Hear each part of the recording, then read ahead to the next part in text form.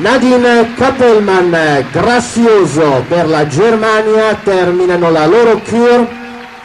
It was Nadine Kappelmann driving Grazioso for Germany.